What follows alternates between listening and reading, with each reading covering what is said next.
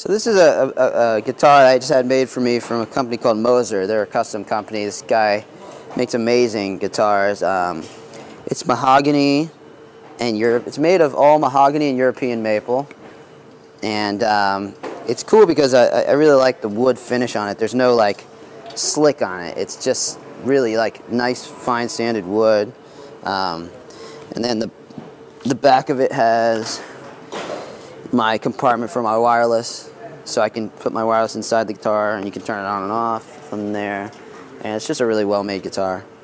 Um, so I've been using this as well on this tour.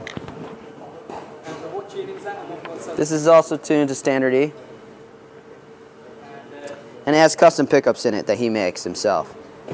So they're not anything that anyone else would have really. So, But it also has the ability, the thing about this guitar is that you can um, switch it to single coil or double coil pickup. So that's kind of unique in a way, just using one of these toggle switches.